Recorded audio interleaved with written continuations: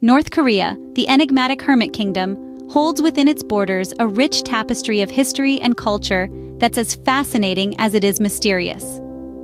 Today, we embark on a journey through time to discover the top 10 must-see attractions in North Korea. Coming in at number 10, we have the Kumsusan Palace of the Sun, a monument to the memory of the country's past leaders. This grand mausoleum stands as a testament to the reverence North Koreans have for their late leaders. At number 9, the Arch of Triumph takes center stage. This majestic monument, larger than its Parisian counterpart, was built to commemorate Korean resistance to Japan. The eighth attraction on our list, the Juche Tower, is a symbol of the country's ideology. Its torch, forever burning, symbolizes the eternal spirit of the Juche ideology. Seventh on our list is the North Korean Metro. One of the deepest metro systems in the world, it doubles as a nuclear bunker. A journey through this metro is a journey through North Korean history. At number 6, we find the Mansudae Grand Monument. This monument showcases the grandeur of North Korean artistry with its larger-than-life statues of the country's past leaders. Halfway through our list at number 5, we have the Buzkashi Stadium.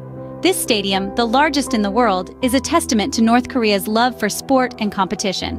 The fourth attraction, Mount Paektu, is a sacred site in Korean mythology. This active volcano is believed to be the birthplace of Dangun, the legendary founder of Korea. At number 3, we find the Kaesong Old City. A UNESCO World Heritage Site, this city is a time capsule preserving the ancient culture of the Koryo dynasty. Second on our list, the DMZ, or the Demilitarized Zone, offers a unique perspective into the tension between North and South Korea. This 160-mile-long, 2.5-mile-wide stretch of land is the most heavily militarized border in the world. Finally, the number one must-see attraction in North Korea, the Ryugyong Hotel. This unfinished 105-story pyramid-shaped skyscraper is the tallest unoccupied building in the world and a symbol of North Korea's ambition and resilience. So there you have it, the top 10 must-see attractions in North Korea. Each one, a story in itself offers a unique insight into the history, culture, and spirit of this fascinating country.